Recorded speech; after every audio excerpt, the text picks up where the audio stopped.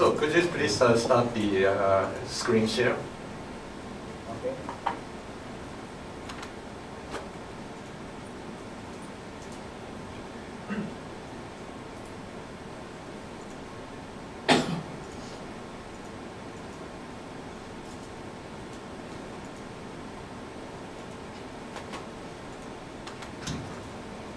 Okay, can you see that? Yeah. Okay. Uh, should- I assume it's, it's silent, start? Okay, you can start right now. Okay, thank you. Um, hello, my name is Tim Bird, and I am the group chair of the Core Embedded Linux project of the Linux Foundation.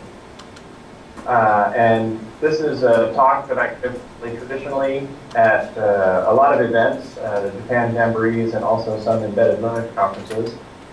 Um, and so I'm happy to be with you today to uh, discuss the status of embedded Linux. Uh, first, I should explain the nature of this talk. It's a quick overview of lots of different embedded topics. Um, and so I don't go into anything in uh, a lot of detail. I just want to kind of glance over the surface. Uh, It's really intended to just give you a springboard for further research, uh, to hopefully uh, let you see different interesting things that have happened in the last year, uh, so that you have a link or you have something to search for uh, if you want to go research more uh, about that topic. So here's the major outline things we'll be talking about. Uh, I'll go through the kernel versions that we've had in the last year and some of the major features for embedded that have been in, the, in them. I'll also go over different technology areas that are relevant to embedded, things like real time and, and, and boot up time, uh, system size, and that type of thing. Uh, and then I'll also discuss uh, the uh, CE workgroup projects, uh, projects that we're currently conducting in the Embedded Linux project. I'm going to then go over a few miscellaneous stuff and give you some resources. Um, so let's start with kernel versions. So here are the kernel versions, actually a little bit more than a year, uh, dating back to 4.7 in July of last year. Uh, they've been very consistent in their timing. In fact, I was surprised uh, by the one in July, 4.12 was only 63 days. I thought we were kind of stuck on seven days. Uh, that shows you that the kernel development processes are uh, really quite consistent. Uh, the next kernel, uh, we're currently on 4.13 RC7, release candidate 7. And so um, it's expected that uh, there hasn't been a whole lot of activity in uh, this particular release candidate. Each release candidate is a week approximately. And so uh, we're expecting uh, 4.13 to be released on 3rd of September, which would be another 63 days. If, does, if something does crazy, hap uh, crazy happens in the next couple of days, uh, we might extend out another week or two, but that would be rare. So we're continuing on a very good cadence. Uh, and it's nice because developers uh, can kind of know what to expect. They don't have to wait a super long time if their if their patches miss a particular kernel version. They know it's not. It's only um, you know a couple of months before the next one, uh, two and a half months about. Uh, so that's actually really good. Excuse me. So in Linux 4.7, I'll just go through the kernel versions and talk about uh, some of the things that were in them that were related to uh, embedded topics. In 4.7, we had the schedule frequency governor. It's a new frequency governor. Uh, controls the automatically controls the frequency of the machine in, in order to uh, do better power management. Uh, and it just uses a different load uh, calculated by the scheduler uh, instead of an average load uh, over the past little while. So just some details about uh, how uh, how it calculates the load is, is what changed there, um, and that gives some uh, benefits in terms of power management, power performance. Uh, the VFS layer can iterate through directories in parallel. This was really a scalability issue, so it's a little bit hard to call it an embedded issue, but it is it, it does affect uh, the way the file system layer operates. And so for some types of products, this, uh, this could be uh, very useful. It's automatic. You don't have to do anything really to, uh, to benefit from this, this change. Uh, there was the ability to patch uh, BPF programs, that's Berkeley Packet Filter Programs, trace points. So you now have the capability with ftrace uh, or with kprobes to be able to um, have arbitrary code uh, run in the kernel uh, to gather additional data, to perform uh, aggregation, or perform, do histograms.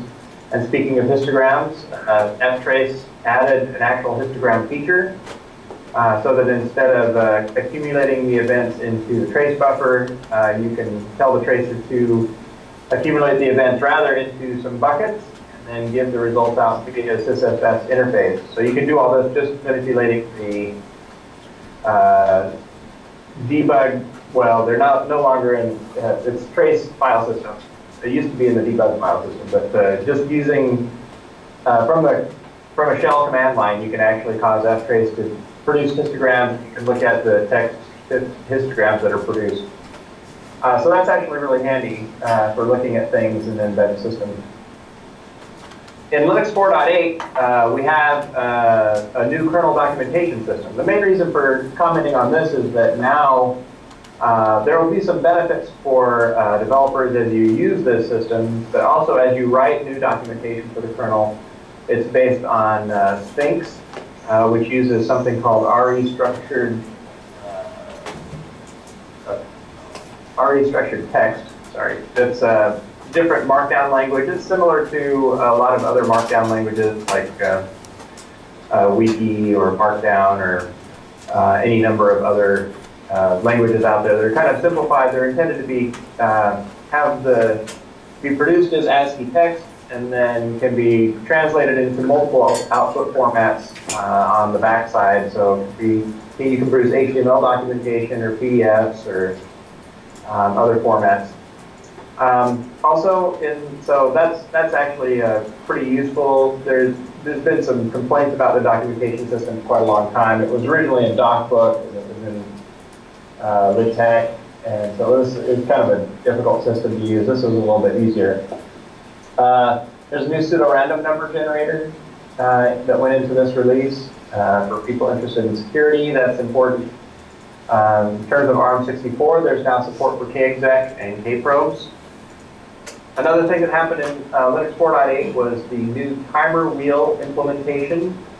Uh, and this is really interesting to me. I actually studied the timer wheel. This is one of the first things I studied when I got into Linux many, many years ago. And the timer wheel has, has been there for uh, a long, long time, probably at least 20 years. Um, and it was the way that the kernel, uh, it was the data structure inside the kernel that was used to process uh, timers. Um, but and it did an admirable job for many, many years, but uh, even, even 20 years later, you can find um, aspects of it that could be improved. And so uh, they did. Uh, Thomas Gleixner produced a new timer wheel implementation it actually has better performance uh, than the old one, which was which was really hard to beat. Um, uh, it does not. The main thing, though, is that it does not do something called the cascade operation. As you shifted from one uh, time quantum to the next, uh, you would have to coalesce a bunch of timers and move them into uh, other buckets in the old wheel implementation. And this uh, does not require that anymore. it, it just the nature of the data structure uh, means that it automatically coalesces longer timeouts and gives those, uh, that has the effect of giving them reduced resolution, but that usually doesn't matter uh, because uh, if you're doing something that's, you know, five minutes out or 10 minutes out, you really don't need, you don't need that precision down to microseconds. Um, and so a, there's a trade-off in the in the resolution, but it's a, really good one in terms of uh, speeding up the overall processing. And uh, the reason I include this is uh, it's just really interesting that uh, uh even some very basic structures and implementations in the kernel can end up being improved upon as we as we realize, you know, over time the requirements change. The big thing here being that real time is important and power management is, important. And coalescing those timers has always been something that's required a bunch of extra code uh, which takes extra power. So um, let's see. In Linux 4.9, we have virtually mapped kernel stacks. Uh, this allows us to detect um, stack overruns. Uh, this is a, very uh, interesting feature. If you've worked with kernel stacks before, you know that they've always been uh, in physical memory, and uh, there's been uh, there's always been kind of dangerous because they can overrun and they just run into whatever the kernel memory is next, and there were no guards or anything. And now uh, that they're uh, being managed by the memory manager in virtual memory, you can do a lot of a, a, lot more. Um, well, management, uh, and you can detect things like when the, the stack pointer runs off the page. Um, the great thing about this is not only uh, did it provide these extra security features, but it cleaned up the kernel code and it ended up in pro faster process creation. Uh, this is only available on x86 for now, but I believe that people are looking at doing a similar thing on ARM, um, and so we may see uh, that coming out uh, sometime soon. Another thing in 4.9 was Greybus, uh, which was a bus that was developed for the ARA project uh, by Google. It was a modular phone. That uh, bus got uh, integrated, or the, the, software for that type of hardware bus was integrated into the kernel. Um, and so the project ARA is not, uh, I think, has been canceled by Google, Google but a lot of the uh, ideas and the issues that were raised by that modular phone architecture are now supported by the kernel or at least there's preliminary support. So uh, that will be okay. There's time samples for eBPF. Uh, means the Berkeley packet filter can do it has a lot more flexibility for for doing tracing and things like that. And also in Linux 4.9, mod versions was deprecated. So uh, mod versions was an aspect of the kernel that uh, allowed you to specify uh, kind of like a signature on the function calls uh, that for the symbols that were in a particular module. And uh, it was used to detect uh, incompatibility between kind of third-party modules that were developed out of tree and the kernel. And it was determined that there was a lot of complexity there and a lot of overhead, and so they were just removed. the whole mod version system was removed. Uh, so that's something to pay attention to. You now have to be uh, a lot more careful if you have out-of-tree binary modules uh, that they are only used with kernels they were actually uh, compiled for. Um, in 4.10, uh, a whole bunch of things. First, sched timehist. so histograms, time histograms for schedulers was added, that support was added to the perf command. Perf is a very, very powerful command that can do all kinds of uh, kinds of uh, tracing and performance uh, counter related uh, activities. Perf originally uh, was created and stands for performance counter tool or something like that. It originally was just a tool to grab performance counters and show you uh, those over time. But it's now developed into quite a handy tool for measuring all kinds of things in the kernel. Um, uh, there's now something in the kernel called hybrid block polling, uh, changing the way uh, that block I.O. is pulled for. Uh, it's actually kind of simple in concept that um, the block I.O. Um, in cases where the kernel used to just continuously poll, uh, it now can go to sleep for a short period and the, the tricky part is uh, how long is that short period? There's a short delay, it's estimated, uh, that the kernel uses before the polling starts. That means that the kernel can go off, instead of in a pure, purely polling situation, it can actually go off, do some other work, and then come back and hopefully start the polling right before the uh, I.O. interrupt arrives. Um, or, right, it's not an interrupt in this case, right before the I.O. arrives. And so it can detect it uh, without any loss of uh, performance. So you still get the same benefit uh, of queuing the blocks with the same performance as pure polling, uh, but it actually uses less CPU life to go through some other tasks. So that's actually a very nice addition to the block I.O. layer. Uh, in this release, there was a lot of support for ARM SoCs. Uh, a lot of code went in for Huawei, Allwinner, Marvell, Renesas. A lot of uh, and that's that's continuing to develop. A lot of uh, a lot of chip vendors are getting their uh, code upstream. There's still a long ways to go for some for some SoCs, but it, they're making progress. Uh, POSIX timers is uh, one of the features of the kernel. It's now configurable, so you can remove them if you don't have to be using them in your embedded system. I'll talk more about some of the size things that are now configurable uh, later. Uh, the initramfs compression method is selectable, so you can use different compression. You can make the trade-off between uh, how compact the image is versus how long it takes to decompress. Uh, so you can, there's more uh, flexibility there. Uh, and there's also a new interface for sleep system sleep state selection. I'll talk about that later when I get to power management. Uh, and then uh, UBIFS, which is one of the uh, file systems uh, used in very low end uh, or low end embedded devices that gain support for encryption. Uh, in 4.11, and I apologize I'm going through this so quickly, but a lot of these I'll kind of come back to when I get to uh, the different categories of, uh, of technical areas. Uh, but in Linux 4.11, there was a new kernel ref count API, uh, so that's something to uh, pay attention to. Uh, that's important for people who are writing drivers, doing reference counting in their driver. You need to look at the API differences there. Tiny DRM system was added, uh, and I'll talk again about that later. There's a new statx system call. So uh, there, the stat system call has been around since the very first Unix and is one of the very first system calls, one of the most important system calls for getting information about a file system object. Um, and uh, it's actually, there's a new system call that is intended to replace it Of course, it'll take a long time for programs to adapt to it and use it, but uh, it has a couple of really important features. One is that it provides 2038 uh, safe routes. So any, any calls to statx will give you time values that uh, have that will not break in 2038.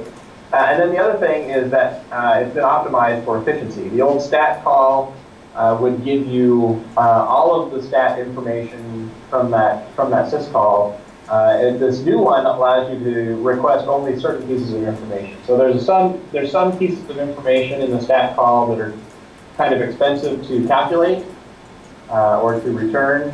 And uh, if you don't need those, you can uh, you can use the statx call and ask only for the cheaper ones.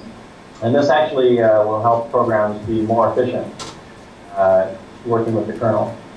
Um, and then a uh, big thing in Portal 11 was uh, the re refactoring of one of the include files, sched.h. Um, so the Linux task structure has been refactored, and some parts of it were moved into moved around. So you have to be really, really careful here. A lot of code and modules that were built before this will have the old structures. Uh, and uh, if you don't have your code in mainline, you need to make sure that it gets recompiled uh, this is one of those things that uh, an ABI change, uh, and so uh, binary modules will have a problem with this. You need to make sure that you're using the new structures going forward after 4.11. in 4.12, there were some new block I.O. schedulers, and I would be hard pressed to tell you exactly what the new there's always kind of new experimental stuff going on. I, uh, I'm not, I don't remember what uh, the big deal was with these, but uh, I think that they're there for uh, solid state drives. Uh, there's been a lot of work uh, to help improve the performance of solid state drives, make the I/O scheduler not the not the bottleneck for that. there was a mini mini TTY prep work uh, not a full mini TTY implementation yet, and I'll talk about that uh, when I get to system size. This is a, uh, an effort to reduce the size of the TTY driver for embedded systems. Uh, so very exciting work, but it did hit some, some problems getting, uh, getting uh, there's proper support for USB Type-C connectors, and then a, a, new Analyze Boot tool coming out of Intel Power Management Graph Tools project uh, this is a new tool, uh, a little bit similar to, um, oh, what was the name of the old tool that we had? Boot chart. Uh, reads dmesg and passes through the ftrace log and produces an HTML graph of boot events. Uh, boot chart uh, read the dmesg and, uh, and produced a PNG. Uh, but anyway, you can go look at this. It's really handy. If you're working on boot time reduction, uh, this is a really useful tool to see um, how long things are taking during boot. Um, and then finally, 4.13, although it's not released yet, we're on RC7, so very, very unlikely that anything uh, big is going to change between now and Sunday. Um, a couple of things that are interesting, the, there's a new TLS implementation in the kernel. Uh, so uh, it, for certain things like HTTPS performance, where you know H TLS is kind of the encryption layer for HTTP, uh, and having that code in kernel should help with performance. Uh, there's some other technical reasons um, having to do with uh, net filtering, uh, why it's useful to have this inside the kernel. Um, so the kernel can unpack some of the fields and, and do the net filtering properly. Uh, but anyway, if you're interested at all in that, make sure you go look at this uh, LWN.net article. A couple other things interesting, the next interrupt prediction. So uh, there's uh, a new system in the kernel uh, that tries to make a better prediction of when the next interrupt will occur. And this is this is a very difficult problem, but if you can get it right, if you can predict correctly, you can go into a, a lower sleep state and save a lot more power.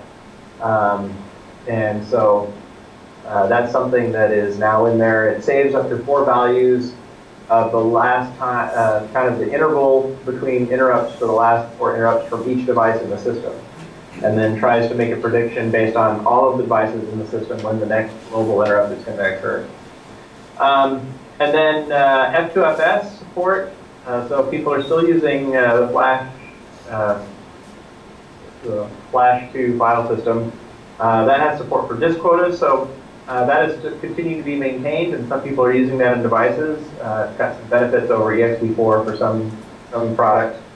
And then uh, K-self-test is transitioning to the TAP13 protocol, and I'll, I'll come back to that and tell you what TAP is when I get to testing. Okay, so uh, technology areas. Uh, so let's go through these kind of some of the same things, but uh, now uh, I'm going to talk about them in topic areas. So the Analyze Boot tool, that's one of the most important things that's new uh, in, in the 4.12 release. Sorry, there's a typo there. Um, there's uh, not been a whole lot of reduction, but there are new there are tools for reducing things, and there's lots of uh, talks about how to improve things. There'll be another one at ELC Europe, a talk on uh, boot time reduction techniques. Uh, but here's a couple of talks. Uh, there, some of these are old. ELCE 2014, 12 lessons learned in boot time reduction.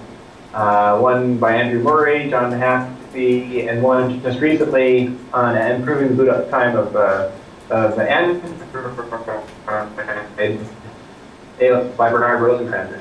And so some of the ideas that Bernard presented, obviously a lot of them were very specific to Android, but the same types of things can be applied to other uh, other projects or uh, projects based on other um, distributions. I, I, from my perspective, I consider an Android a distribution on top of Linux. But um, uh, basically, there are kind of two approaches. This is always true, uh, whether you're doing Android or something else. You can you can work to improve the cold boot time, or you can work to enhance the suspend resume time. Uh, most phones actually don't go through a cold boot. You know, when you press the off button, they just go into a hibernate mode or a suspend mode. Um, uh, but there's values for both of these. Uh, the areas that Bernard looked at were um, he looked at, uh, in Android, the package manager scanning. There's a big scan of all the packages the system boots on Android. Looked at Java, Java class preloaded, preloading. Uh, one really simple thing he did was to force the CPU frequency high during boot uh, so that you're running as fast as possible. You don't let the governors or any kind of automatic uh, frequency governor uh, slow your system down. That will get you through your boot time faster, and then you can after boot is finished, you can you can let the governor take over and, and reduce speed or power. Uh, there's things like I/O. The, the, amount of I/O during done done during boot is usually very very high. So there's a whole bunch of techniques using uh, read ahead, uh, kernel compression, uh, compression of the kernel image itself. So that's that's during the bootloader phase, and then Squash FS doing uh, compressed I/O, uh, compressed files actually during runtime. Um, so there's a lot of ways you can reduce the I.O. Uh, he also did something with kernel modules, deferring the module load until later. That's kind of an old technique, but it still has to be done kind of on a per product basis. Um, and then there's library and compiler optimization. So if you're interested, so a lot of these are not unique to Android. The last, uh, the last four, in fact, are uh, pretty generic and could be useful for anyone who's working on, on boot up time. Uh, device tree uh, is a section of the kernel. It has to do with uh, specifying how uh, the firmware describes the hardware to the kernel. The, the kind of three big areas of work in this, uh, besides just people submitting new device tree configuration files, DTS files, uh, there's, there's been work on some, a feature called device tree overlays. Um, and actually, it's I now kind of wonder if this will get mainlined because it's been going on for over a year now. I think about two years. Uh, but this is a feature that allows plugin boards to be configured at runtime. So there's a lot of boards in the uh, in embedded uh, that have uh, the capability to apply daughter boards. And so there's a bunch of new hardware that shows up or that's available on on those uh, boards those daughter boards that you have to describe to the kernel, and you don't want to have to rebuild your kernel every time you swap your daughter board. So uh, there's a way for the uh, device tree overlays is a way for uh, the um, firmware, the bootloader, uh, to detect uh, daughter board and change the device tree at boot time. Uh, and so hopefully that will get in. I know people are doing some work around. There's patches that are out of tree that are being used on various boards like uh, Raspberry Pi or uh, the Beagle board, BeagleBone. Um, there's device tree val validation. So this work uh, started about a year ago and then got completely stalled. However, however, uh, there was a new proposal just recently uh, by Pantelis. Pantelis is one of the guys who uh, does some of these uh, projects, uh, experimental projects in, in, device tree. Uh, he has a new proposal for, for converting the device tree to YAML format. So the maintainers were not very excited about this, but he did raise uh, some of the issues, including validating the device tree, which he thought, uh, he, he argued that that would be easier if you had it in a format that uh, that had an external parser instead of a custom parser. The current, current parser in there, there's a special compiler for the device tree language. Um, he said we should use a generic, generic uh, language uh, that's supported in the industry, which is what YAML is. Uh, and then there's been talk about uh, doing an updated device tree specification. Uh, and the old device tree specification is quite old and not um, well, it could use a lot of improvement. Anyway, a lot of this stuff was talked about uh, actually almost a year ago in 2016. Although there will be, uh, there was a BOF at ELC uh, 2017, and there'll be another device tree BOF coming at, at ELC Europe in October. Uh, so we'll probably hear updates on the status of these uh, things going on with device tree. In terms of graphics, I, I mentioned TinyDRM, uh, which was integrated, I think, in 4.12. Um, so this is actually really neat, I think. Uh, this is a, specifically for the uh, embedded, uh, provides graphics support for small and very simple displays. So these are displays that, uh, usually things like LCD displays, uh, but they could be kind of low resolution, um, you know, displays. Anyway, these displays that are uh, specifically the data is driven over I2C or SPI the idea is that uh, uh, with this, you could use the same DRM APIs, uh, replace the frame buffer drivers over time, uh, and get the benefits of, of having the same API as kind of bigger displays, but still, but still uh, be suitable for uh, these smaller, simple displays. and you can see, you can go look at the patches and, and see what that's about there. Also, there's been a lot of work on supporting a new uh, alternative to OpenGL uh, as a higher level API, uh, and that is uh, called Vulkan. So there's a talk on Vulkan at ELC talks about the differences between it and OpenGL ES, And it's, it's basically some optimization uh, in the graphics area for embedded type things. I think it's used in non-embedded as well, but it's, a, it's basically it's an evolution of uh, the API for, for graphics, doing graphics. Um, in terms of GPU, GPU drivers, this is a this is a topic that is uh, that often comes up. Uh, the, there, this, is the basic state. So there's a there's these basically there's these big six. These are the six biggest uh, GPU uh, families out in the industry, and the the Broadcom. And there's actually really good support for uh, drivers for those in the form of the Nouveau, the Etnaviv, and the Video Core 4 driver uh, for Linux. So those have open drivers. Uh, the, for the Qualcomm Adreno, which is obviously used in an awful lot of cell phones, um, and the, there's a driver, there's the Freedreno driver, that is actually continuing to be developed. It's under active development. Uh, there was just a new release of it done in June. Uh, and you can go actually look at uh, the, this article that I've got linked to here as uh, um, uh, there's a blog entry that talks about all the features that are now supported with the, the latest driver. Uh, the two that are outstanding that kind of uh, are problematical are the Imagination PowerVR. Uh, there's no public driver for that one or no open source driver. Although they talked about it in 2015, but it never came about. And uh, some news in the last couple months is Apple is uh, dropping its imagination support, so they're not using the imagination IP. I don't know if they're what they're using is actually PowerVR. I suspect it's a, if not PowerVR, it's a close cousin. Uh, so that's actually a little bit uh, concerning. Uh, the other one is the ARM Mali, uh, which is used in uh, a number of chips, including some MediaTek processors and Allwinner and some others. Um, I think. Anyway, um, so there was some work. There was a project called the project earlier about two years ago. But, uh, there has not been a lot of work on that, and uh, there's no open source drivers likely. ARM is the owner of this one. This is the one that they kind of ship as the uh, well the default if people want to license it from them. Uh, and they said that they do not plan to produce an open source driver, so that's disappointing.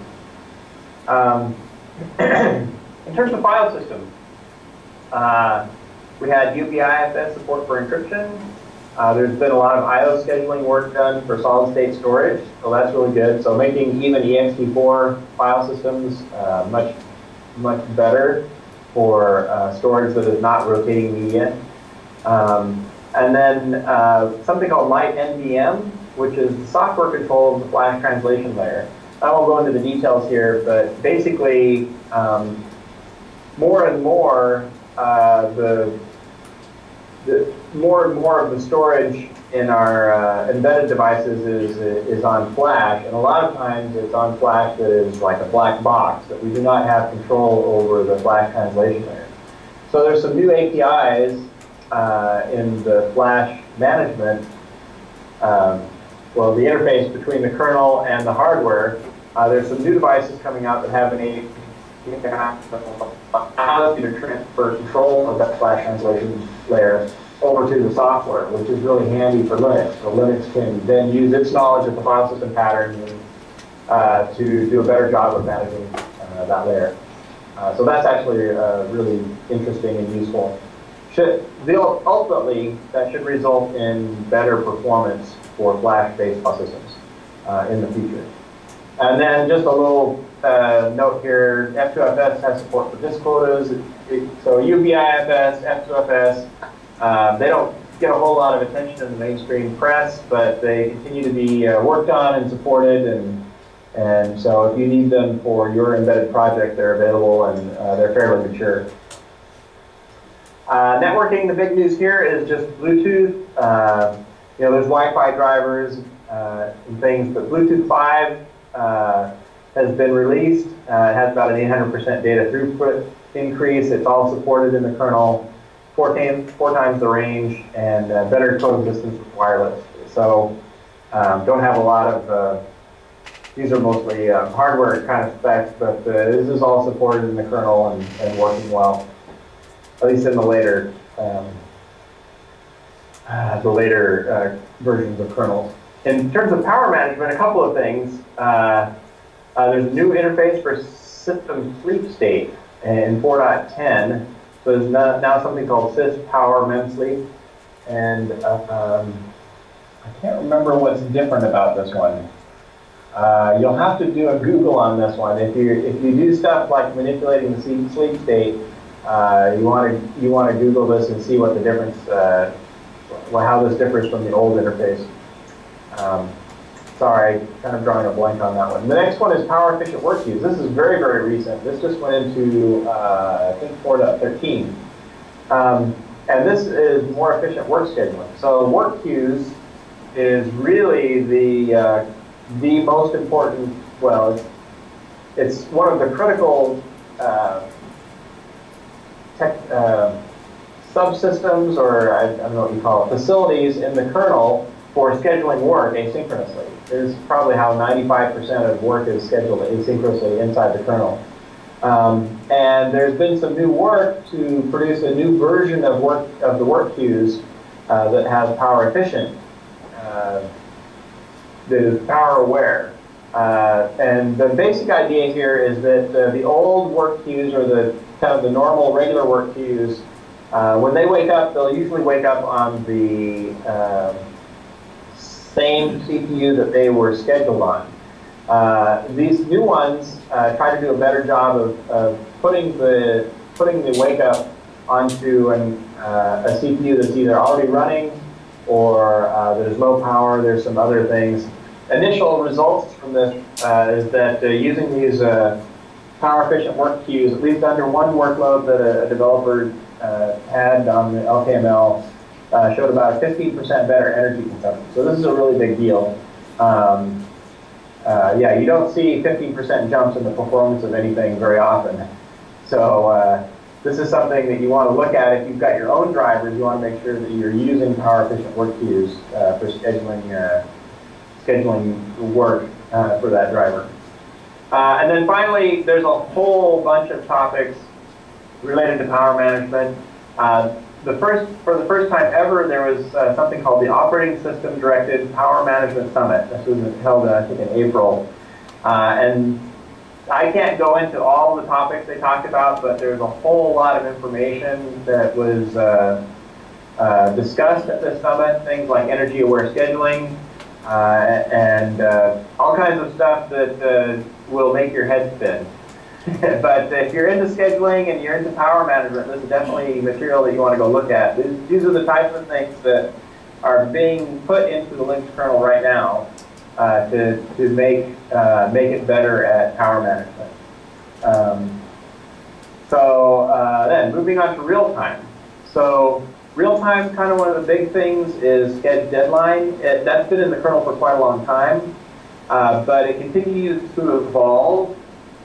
Uh, it's got energy aware scheduler support. Uh, it's got a new feature called bandwidth reclaiming, uh, which temporarily allows tasks that see its bandwidth. Uh, so kind of, it, it, it doesn't, uh, it allows a process basically to cheat on the Sched deadline says, well, I'm going to finish by this time, and, and you're guaranteed to do that. And it's like, well, if you don't quite finish, you can you can ask for a little bit more time, and no other process is going to get hurt by that, then you're actually granted it. Uh, there's support for frequency scaling and group scheduling, so uh, Sched deadline is really important for um, real-time systems. Uh, and then uh, at ELC, there was um, a, a lot of talks uh, well, a few talks on effectively measuring or reducing internal latencies, uh, real-time Linux on embedded multi-core processors, uh, and there was a whole real-time summit actually in, at ELC as a parallel uh, parallel conference, uh, and there will be again at ELC Europe. Uh, there'll be a real-time Linux summit. so the work continues here. A lot of work for um, there'll be actually, I believe, a status talk on the on where we are with RT preempt and uh, how well it's going into the mainline. In terms of security, the big news is uh, this big kernel hardening project. This is basically um, a whole bunch of people, but uh, one of the primary ones is a guy by the name of uh, Cook. Um, and uh, he has been uh, taking a lot of patches that have been out of tree for a long time that are in basically some secure Linux projects and adding them to Linux, uh, kind of going one by one and, and closing down uh, a lot of these uh, security vulnerabilities in the, in the kernel. This is just, uh, I, there's four of them listed here, but, but these are, this is just a small sampling. Uh, he's probably done at least 10 in the last year, 10 patch sets uh, that do kind of, that plug various interesting vulnerabilities in the, in the kernel. There were a couple I was reading about today that I didn't get onto the slide. Um, but uh, there's something, the rare write infrastructure. Uh, so there's portions of the kernel memory that are sensitive that you can keep read-only most of the time. So uh, it's very, it's much more difficult for an attacker to write into uh, that that memory and cause a vulnerability. And then these other three, uh, they're listed here, are GCC plugins for kernel security. So they're actually involving the compiler in protecting the kernel uh, kernexec, which prevents kernel from executing user space code, struct leak, uh, which zeroes out some of the kernel structures that are passed through user space, so there's no information leaks. Um, and you can see articles on those two. And another one for randomizing the C structure layout. So when you move stuff around randomly, every every build of the kernel gets kind of a different layout of particular structures. Makes it very, very difficult for uh, uh, attack code uh, to find uh, the, the it, it, makes it so you can't run the same type of attack on everybody's kernel, and so it really reduces, it makes it more difficult for, for people to break the kernel. Um, and there was uh, a good presentation at uh, ELC 2017 on Linux and PPM systems. Uh, there'll be some more presentations on different security aspects uh, at uh, ELC Europe, uh, and so looking forward to more work there. And, uh, and as I said, uh, there's more, as part of this hardening project, kernel hardening, uh, there's a lot more uh, patches that have been uh, going in. And if you're interested in that, if you follow, you just go to lwn.net and look at some of the things that have been done recently. System size. Uh, so the initramfs compression method is selectable. I talked about that already. Uh, Nicolas Pitre, who, who, works for Linaro, has been doing uh, a lot of this size work. He did the configurable POSIX timers, so now you can choose whether or not uh, to put those in. Uh, surprisingly, the kernel has like, I don't know, 13 or 14,000 configuration options, and there was not one, there was not a configuration option for POSIX timers. So uh, some embedded systems do not use those, do not need those, and so it's nice to be able to configure them on. Um, and then Mini TTY, he actually did a smaller implementation of the TTY subsystem. Uh, and uh, this, this, is, this one was quite controversial. It saves about 38K because the TTY system in Linux is, is very, very old. Uh, it, it, has a lot of stuff in there that actually a lot of embedded systems aren't using at all. Most of, most of the time in embedded, the only thing that's using the TTY is the serial console, well, the shells, but um, but a lot of the features, legacy features of TTY are just not used at all. Uh, and so Nicolas went and he did a bunch of work to refactor. Uh, well, basically wrote it from scratch and that's new small implementation. People wanted him to go and just, well, can't you just make the old one configurable? And he said, no, that's not really feasible. Uh, by the time you're done cutting it up, um, it, it would be it would be bigger uh, for the default case and not, not as small as this one. Uh, so it'll be interesting to see if this gets in. Portions of it got in, uh, but not some of the actual main savings. So we'll see what happens. The other thing uh, that uh, uh, Nicolas worked on was shrinking the scheduler. And this is really controversial. so this drops dropped a bunch of features and eliminated real-time and dead, deadline scheduler classes, uh, saved about 20K.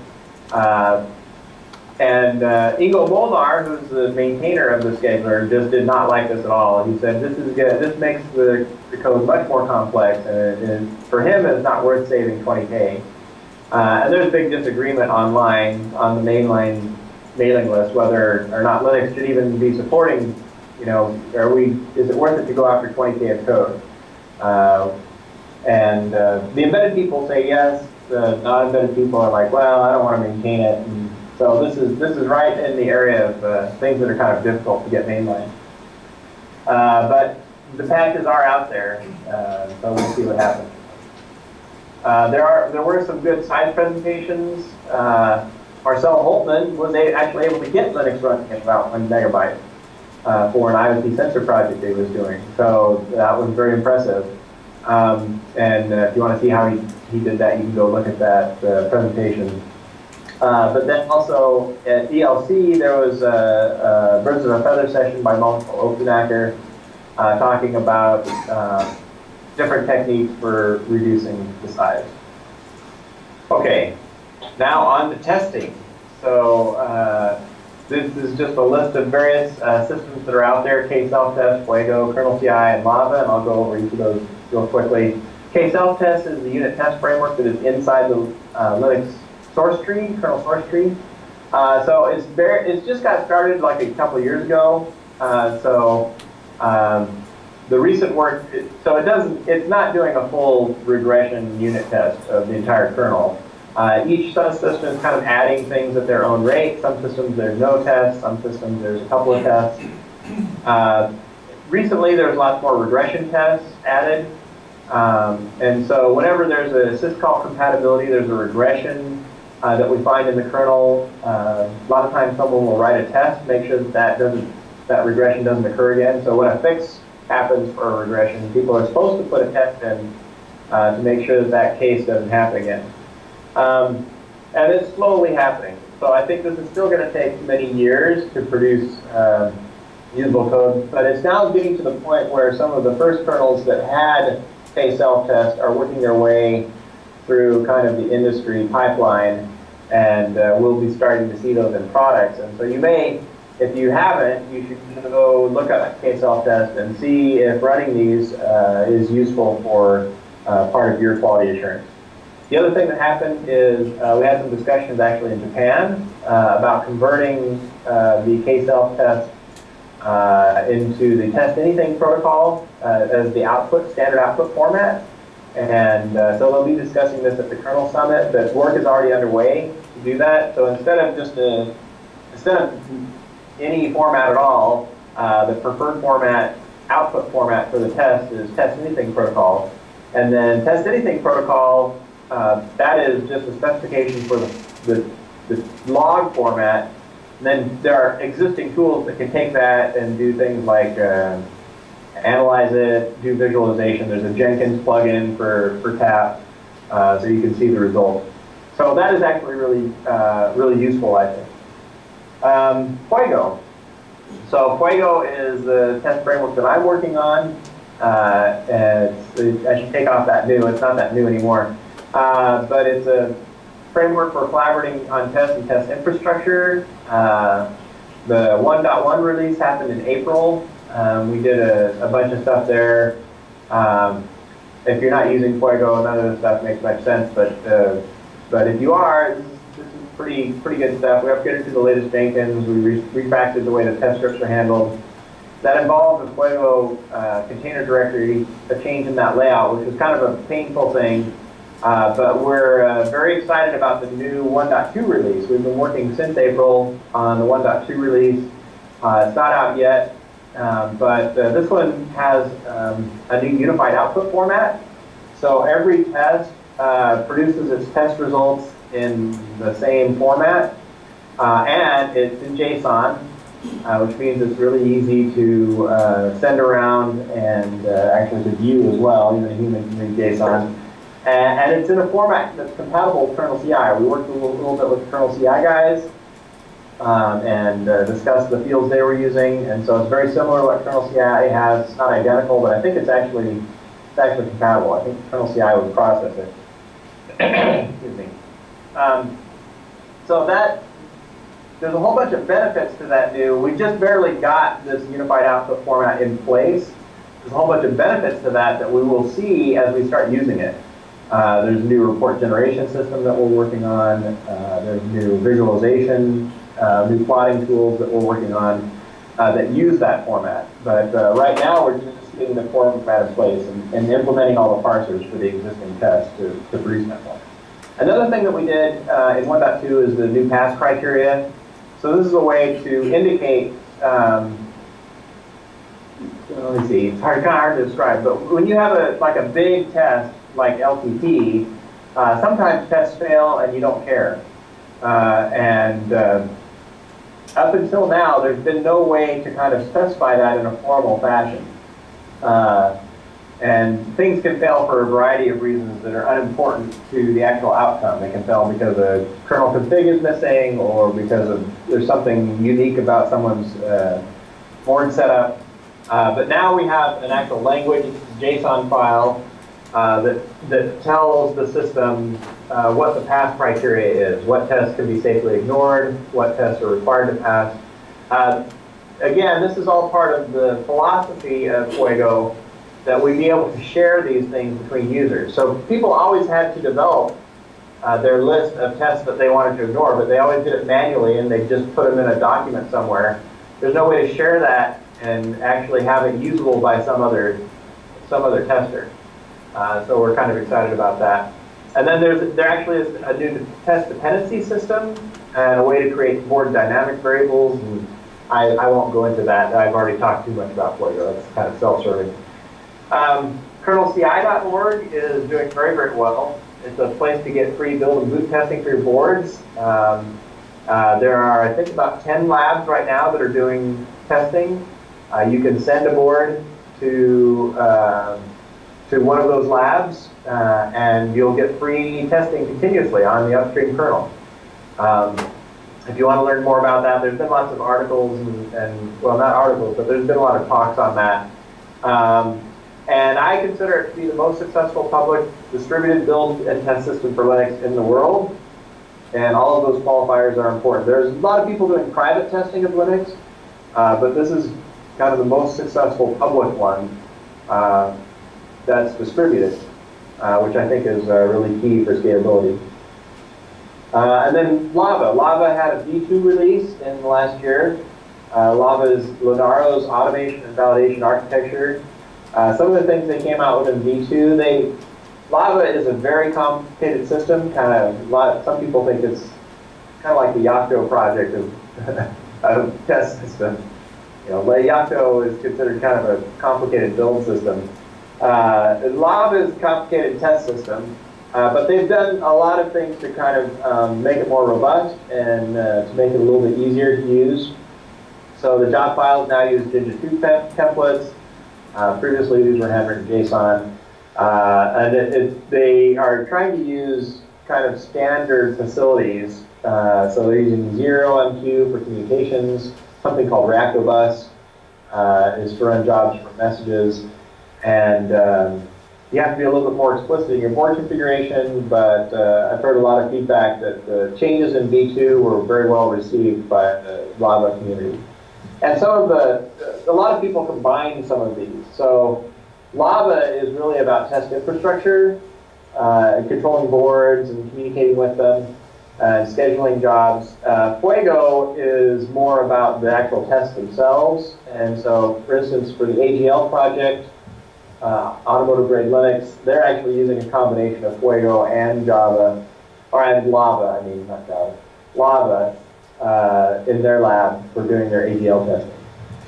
Uh, tool chains. So there actually has been some interesting stuff going on in tool in the world of tool chains. LLVM 4.0 uh, was released. Uh, there's and you can read about some of that stuff there. Um, and, and, then uh, uh, there's a presentation about using uh, GCC and Clang optimizations for embedded Linux. So there's lots of lots of optimizations, lots of work going on in the compiler space, and sometimes uh, we don't hear about it or use it for many years. So it's worth checking it out every once in a while to see if uh, there's something you could, that will add to your project. Okay, tracing. So I talked about perf tools. Uh, there's there's the uh, time history, uh, the sched, perf sched time history, allows you to look at uh, scheduling events, actually time histogram, sorry. And then C2C is cache line contention analysis. That's that's handy for finding uh, if you've got caching problems. Uh, and then uh, let's see, there's a good talk on dynamic tracing tools on the ARM platform, great overview of the different tools that are available uh, at ELC. Um, okay, now finally for some miscellaneous issues. These are issues that I couldn't fit really into any of the other categories. Um, some things that have just been discussed recently on the Kernel Summit discussion list or just in the industry. Um, and I'll just go through each of these. So printk issues. So there's been a lot of discussion on the Kernel Summit mailing list uh, about K and whether we need to go back to the drawing board and, and change a bunch of things. I personally think uh, they should not mess with it. It's, uh, it's already super complicated. They actually want to simplify it, make it per CPU, fix some things like the console lock being held too long. Uh, but it, it, it's used by so many things in the kernel, and there are a lot of very um, important requirements uh, that it satisfies. And so I think it's very, it would be very, very difficult uh, for them to replace it um, and satisfy all the use cases it currently has. Uh, just recently, I mean, like in the last week, uh, there was discussions about uh, this thing called turn continue. Uh, this is a flag that you put on the on the calls uh, on PrintK call when you're doing you're splitting the lines among multiple PrintKs to have them all appear on the same line. Well, it's never been reliable. Uh, it's basically unreliable for SMP kernels because if you're doing two calls to PrintK at different times, there's no guarantee that another process hasn't gotten in the middle and and uh, and output something. Um, but the latest kernel, and this was the controversial thing, now puts a slash n between lines that don't have turn continue. So it actually, there's a, there's a chance that the change format of kernel messages uh, that people see from one version of the kernel to the next uh, without any source changes. So that is, uh, that is was very concerning to some people. Uh, they're talking about actually eventually removing kernel continue. Linus doesn't like it. Uh, he's saying that if you want lines to be joined, you're going to have to put them together yourself and try to call print k atomically for each individual line. That's really the way to go forward.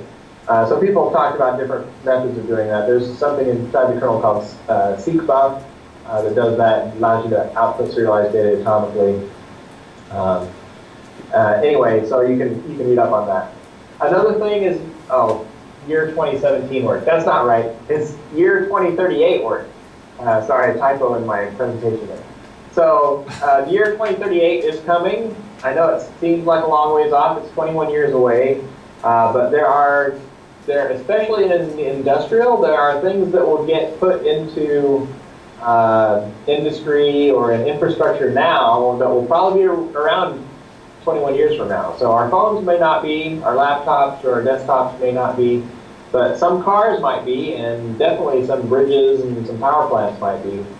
Um, and so we're actually very concerned that we get a lot of this work done as soon as possible, 2038.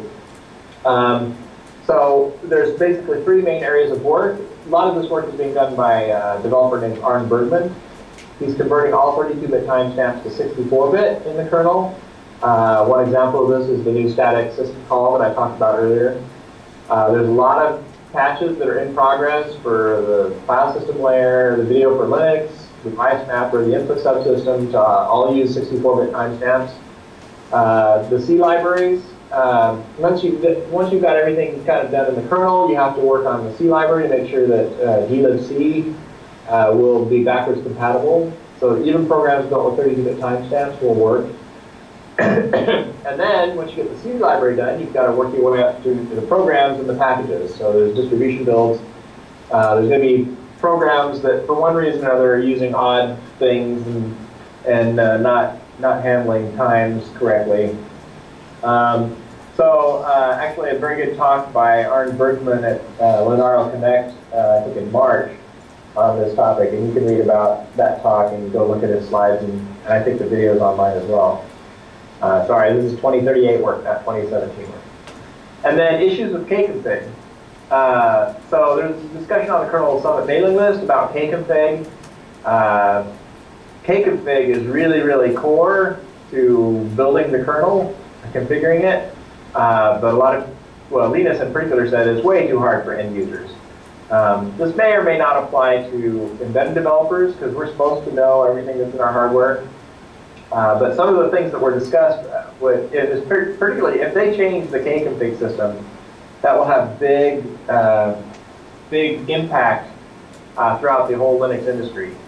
Because everyone will be affected by this. You can see his complaint, some of the things that he complains about, uh, why Kconfig is, is uh, has problems, what his issues are with it. Some of the ideas really kind of boil down to doing um, doing kconfig differently. Uh, instead of doing it on a on an individual config by config basis, basically doing some higher level options or grouping of options to make it easier, and also doing better dependencies.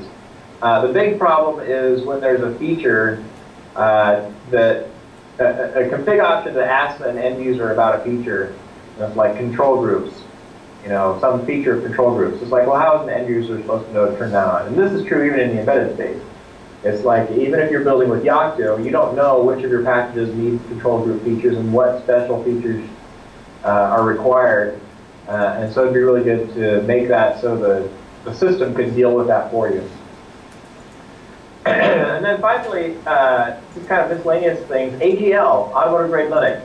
I was very excited. I was at uh, Open Source Summit Japan in June of this year, and uh, it was announced there that the first car in the U.S. Uh, with an AGL-based infotainment uh, unit will be uh, shipping in, uh, well, actually be shipping this fall in the U.S. The 2018 car year starts in 2017. That's anyway, but the 2018 Toyota Camry is using an AGL-based uh, infotainment OS. And then I just saw today uh, that Mazda and Toyota are collaborating on that as well. So Mazda is getting getting involved with that. So uh, AGL is really starting to take off, it's starting to appear in the first product in the industry, and so that's uh, I think that's good. We'll see more and more Linux used in uh, automobiles. Um, okay, all right. That was a long that was a long slog. I'll try to finish up here uh, relatively quickly, uh, but just go through a couple more areas here. Uh, I'll talk about the CE workgroup projects and next. So we have a couple of projects and initiatives. We have the shared embedded distribution, uh, LTSI, which is long-term stable initiative, Fuego, and the ELINUX wiki. Um, the shared embedded Linux distribution is uh, it's really a, an effort to try to combine Yocto and Debian. Uh, and this has been uh, discussed, presented at uh, numerous conferences and uh, it actually exists now. There's a MetaDebian layer. Uh, the goal here is to provide something uh, that leverages all of the benefits of Debian with their uh, long-term maintenance, and but the customizability uh, and kind of embedded cross-build features of Yocto. Um, so that work is ongoing. and then the long-term support initiative is also, this is actually uh, the LTSI project has been itself been going on for a long time. I think we hit five years. Um, but uh, the current LTSI kernel is 4.9. Uh, the work is in progress on the next release. Uh, we're in the testing phase right now. I think they have, uh, uh, I think, well, I just saw some stuff on the mailing list. A couple more um, backports for uh, are, are going in, I think, this week. Um, but anyway, you can uh, read more about that or, or, look up that if you look at uh, Shibata-san's presentation at ELC, and he's going to be talking again, I believe, in uh, ELC Europe uh, about that initiative. And then the Fuego Linux TAST framework, I already kind of talked about that. Uh, there is a, a Birds of a Feather session with more information about the status and roadmap that you can look up, and there's, there's a wiki that you can see what we're doing. And, uh, a lot of stuff going on with that. Uh, and I think later today there is a presentation on GitLab in Fuego, right? So uh, that's very exciting. Uh, I may I may uh, call back into that. Um, and then ELINUX Wiki. Uh, so this is uh, this is essentially intended to be the Wikipedia of embedded Linux. tons and tons of information, hundreds of pages of material covering numerous topic areas: boot time, real-time security, power management. Some of this stuff is kind of dated; it's not maintained a whole lot. Uh, but one area that is maintained and is very uh, is very active is the slides and videos for all of the conferences.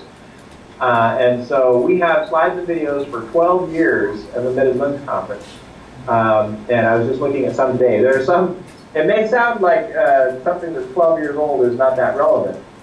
Uh, but I was just looking at one today on uh, contributing to mainline, and it had uh, it was by Greg Kroah-Hartman and Matt Mackall and and Greg Unger, and it had all the same principles are still applicable today. So there's a lot of really really useful material there, uh, basically on every topic. So you have to kind of use. They're not organized by topic; they're organized by year. Uh, but it, but if you use Google, you can find a lot of great material uh, on this, on any topic you're interested in. USB, Bluetooth, real-time, power management, system size, uh, lots and lots of, of, material. So please use this site and uh, please also add to the site um, if you find any information that you want to share with others. Um, finally, just a few, few key other things. In terms of trade associations, there's two kind of big ones out there in the industry doing a lot of Linux work. Linaro, um, uh, and I talked about some of the things they're doing, Lava V2 and kernel CI, not to mention a whole bunch of driver and SOC work and infrastructure work. Uh, they're in the top 10 contributors to Linux kernel, uh, and uh, they're now promoting Zephyr as a non-Linux OS for their uh, lower-end projects. Uh, Linaro Connect, which is their conference, consistently has very useful material. So that's another place to go look if you want to find out information about something. The Linux Foundation is continuing to grow. Uh, it had its first event in China, uh, LinuxCon China, I believe. Uh, sold out in two weeks, had over 1,200 attendees. Uh, so uh, seems like, you know, I know that there's a lot of people in China who've been doing Linux for a long time, but uh, it was, I, I happened to attend this conference, and it was really interesting to see the enthusiasm uh, and uh, seems like a whole new market of developers there to to uh, get involved with Linux. Um, they have over 100 conferences, uh, 67 projects. Some of the projects are not even specific to Linux. Linux Foundation is kind of uh, becoming the general open source project, uh, umbrella company, uh, management agency, what have you. They have more than 500 members. they're doing they're doing quite well. Um, conferences. So I like conferences. I like sharing information with people. Uh, ELC 2017, you saw that I had a lot of references, a lot of great presentations there on all kinds of topics. There's the Open Source Summit in Japan. Uh, it was held in June. Uh, Embedded Linux Conference Europe is coming up uh, in Prague in October. Uh, so we're looking uh, forward to that one. the program is now online. And actually, there's a pretty good chance that it will sell out. we've already got um, well, for the combined events, we already have 800 people registered. Uh, so um, if you plan on going to that, uh, don't hesitate to get registered soon. Um, and then Embedded Linux Conference 2018 is coming up uh, again in March next year in Portland, Oregon. And the Japan Jamborees, like this one, uh, are continuing and have good, uh, good content. So I just have a couple of closing thoughts.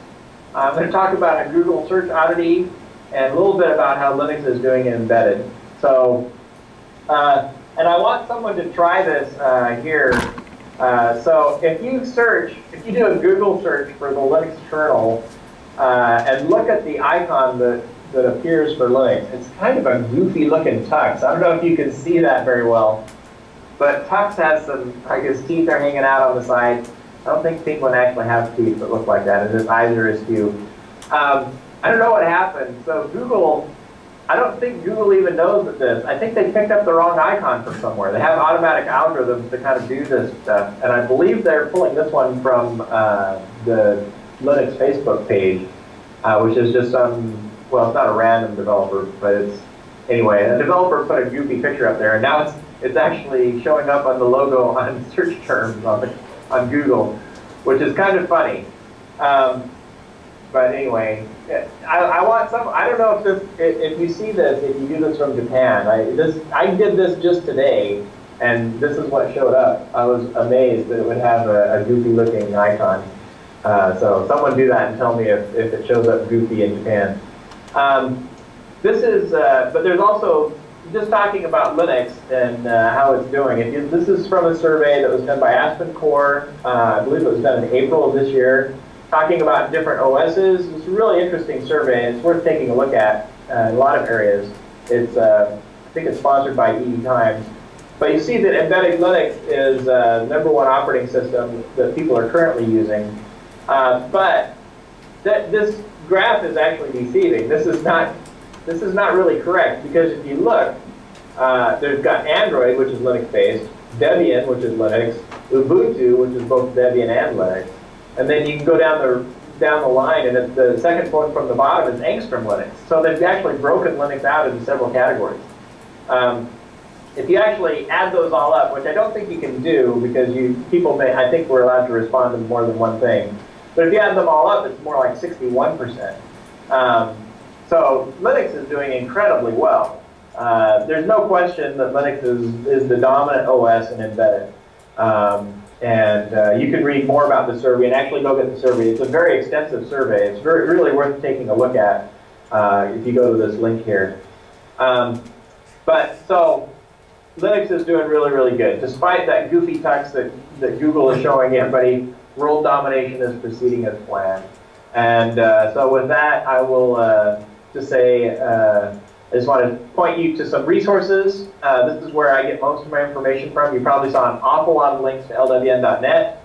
Uh, if you're not subscribed to that, please do so. Even if you don't feel like you want a subscription, uh, it's worth it to, to give some money to um, uh, the group of people that run LWN.net. They provide an invaluable service uh, to the industry. So even if you don't contribute code to the Linux kernel, if you buy an LWN.net subscription, uh, you, that can be your way of uh, helping to advance the cause of Linux. Uh, uh, Jon Corbet, who's the who's the main editor there, is actually the one who does the kernel documentation. So you're really helping to, and then the articles that get written there actually become kernel documentation over time.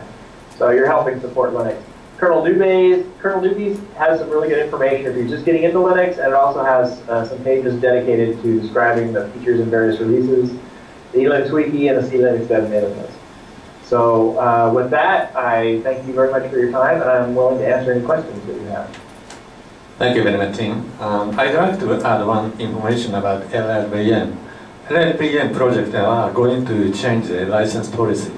They, are, uh, they have been using the uh, BSD license for the LLVM, including that runtime.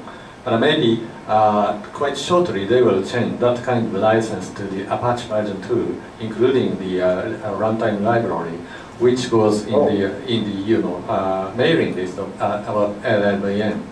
And of course, if they choose the Apache license for the runtime library, it may cause some of the problem of the compatibility with their GPL or LGPL. But they are considering to add some of the additional know, term uh, in conjunction with the Apache version 2 for the uh, runtime library, and they will be able to uh, successfully avoid the compatibility problem with the GPL license. But unfortunately, I have not yet uh, updated the latest situation of the LLVM, so that stay tuned to the LLVM uh, community uh, mailing list. And uh, that is not the finalized uh, uh, information which I obtained, but uh, actually the, uh, in the mailing list of the LLVM, they are, they are making that kind of discussion. This, this is additional of my, uh, what I, I have. Do you have some information about LLVM? Uh, no, I hadn't heard that. So that's, that's quite interesting. Yeah. Oh yeah, I will, I will try to pay attention to that. So any any kind of uh, discussion of the question to Tim or share uh, together with us? すみません、マイクを使ってください。ここであのスピーカーからあの音声を拾ってティムに届けて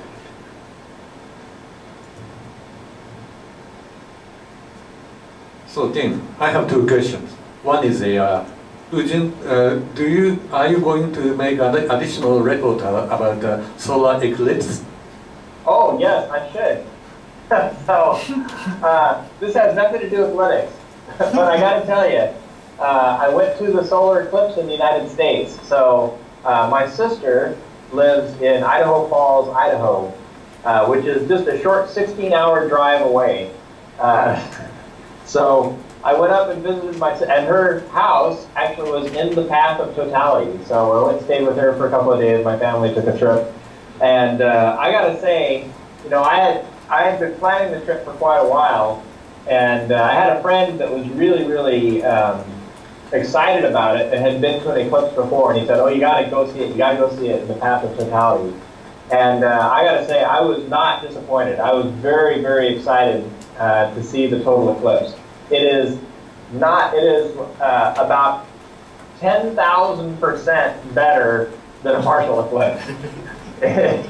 it is so interesting and uh, just uh, it just really feels uh, fills you with a sense of uh, I don't know, just wonder and awe uh, because of the stuff that happens. I mean, you kind of know what's going on because you know all the science behind it. Basically, you're just in the moon's shadow. Uh, but some of the stuff that happens, you just it. I tried to tried to see if I could figure out what was it about the eclipse that was so that was so kind of moving. And uh, the only thing I can think of was that you just don't see phenomenon on that scale in your normal everyday life. I mean, if you go to a, a big canyon, you can see this thing that's like super, super huge, and, and just, you know, you just go, wow. And I think the eclipse is like that, is when you see it, you know, in, in one sense, it's just a little thing that happens in the sky, but, but not, in the, not in the of totality. The entire area got dark, the stars came out, the street lights came on. Uh, there were all kinds of interesting phenomena. There were something called shadow bands that we were able to see right before the eclipse. The light gets really, really weird. Uh, the corona comes out, and when you look up at it, it just makes you go, wow. So sorry for talking so long, but I was really, really excited. I uh, had a really great time seeing the eclipse. Highly recommend if, uh, if you ever have a chance to go see a total eclipse. They're kind of rare, so it's hard to get to them. Yeah. a lot of times you have to travel, but uh, Yeah, well in- worth it. In suburb of Tokyo, we will have that kind of chance in the uh, 2035, uh, September 2nd. Well, there you go. So Yeah. 2035, put it on your calendars. sure. And another question is that uh, have you placed the order to the Toyota dealer for the Camry 2018 model? and I'm curious about the GPL license term along with that kind of automotive. Well, so so this is kind of funny. I actually, uh, so AGL. Okay, so uh, no, I'm I'm not going to purchase a Toyota Camry. Here's the thing. I already I already own a Toyota Camry, and and a Toyota Highlander. And the Highlander we got, bought just last year. That's their SUV, and. Uh, I actually looked, the infotainment system in our Highlander has a GPL thing on it, so it's already Linux based, but it was not AGL. Sure. Uh, so I, I think the system was produced by Panasonic. Anyway, so yeah, so I did look for the GPL uh, information in my infotainment system on my Toyota car already, and uh, and found it. So they're doing, uh, I guess they're. I didn't actually go download the code, so I, you know, okay. I can check their compliance. But anyway, Anyway, thank you very much. Uh, any, any other questions or some of the discussion or talk?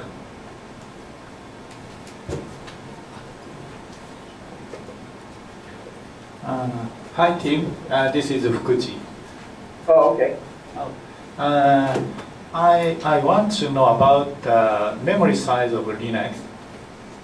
Uh, you reported it, every time you reported the reduction of uh, memory size of Linux. And, uh, but uh, I'm not familiar with uh, Linux technology.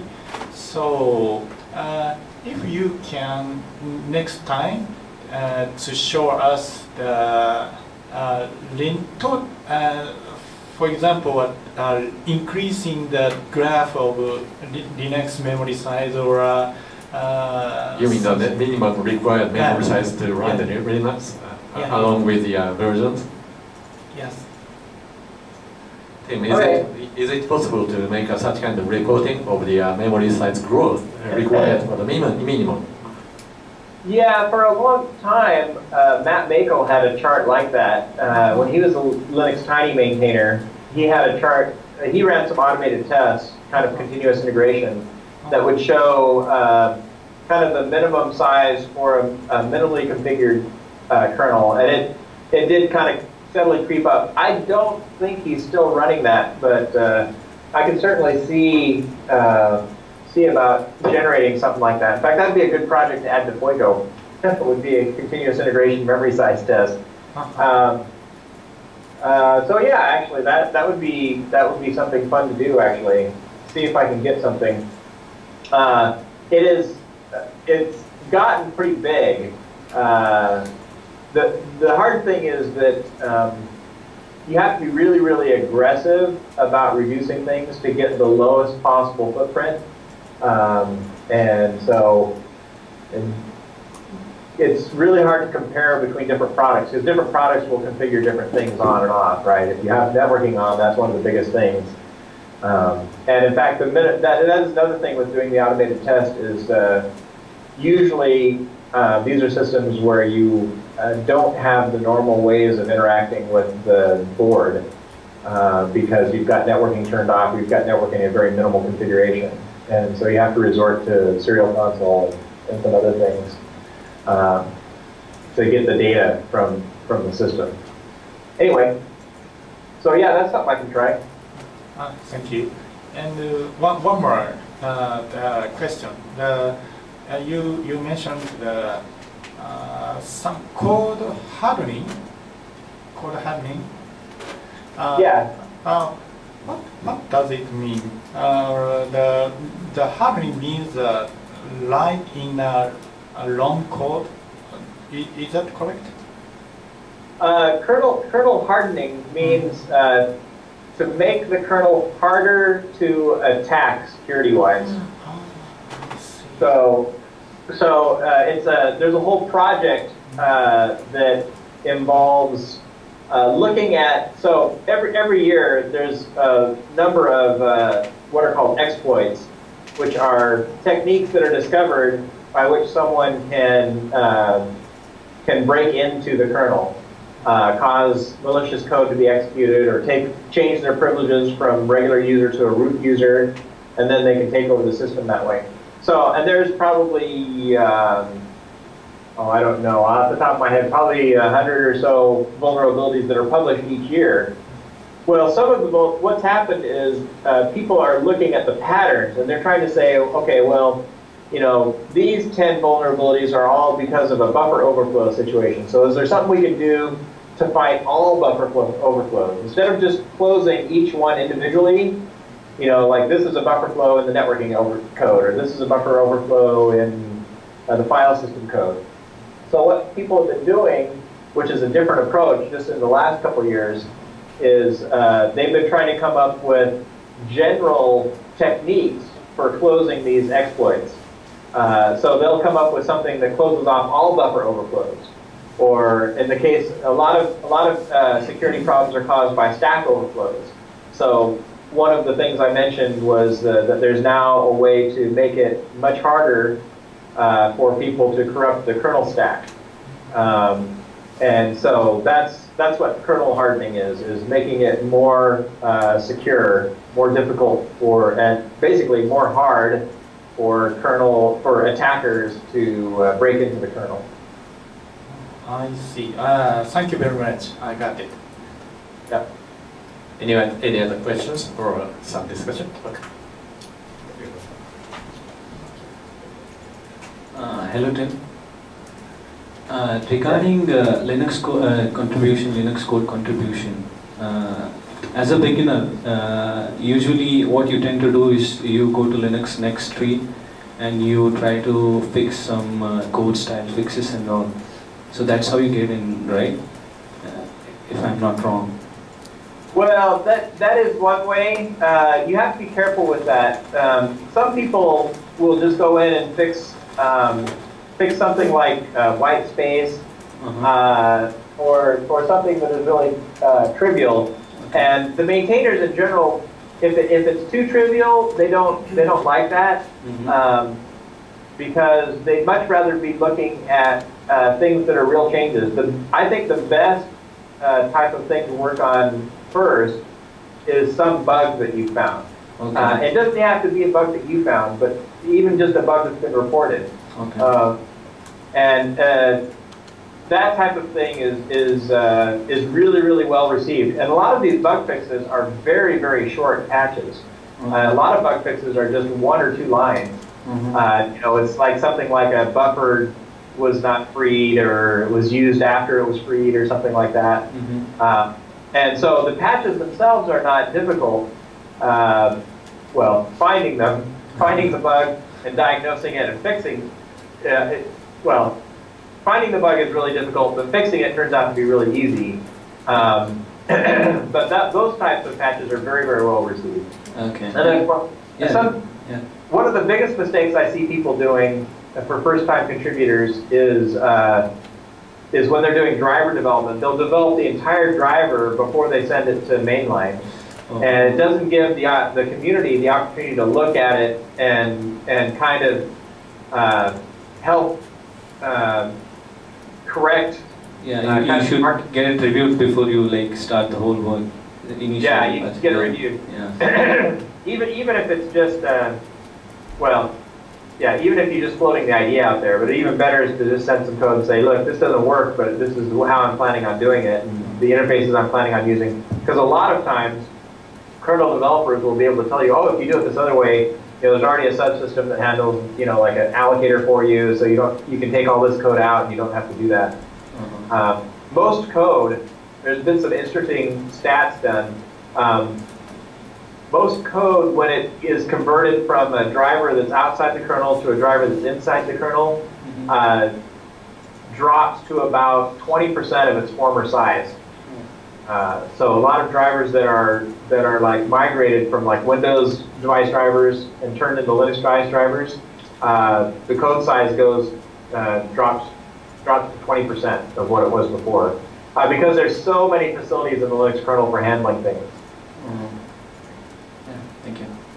Okay, that's a quite important and good question. And Tim Bird is quite happy to make a consultation or help to make your successful, uh, you know, uh, donation of the code into the uh, main line so that uh, please do not make any hesitation to communicate with him. It's not only the uh, issue for Sony internal issue, but uh, out of Sony people, you may contact to Tim Bird to ask what is uh, required to make up streaming of your patches. And we are quite, quite happy to make such kind of contribution to you guys.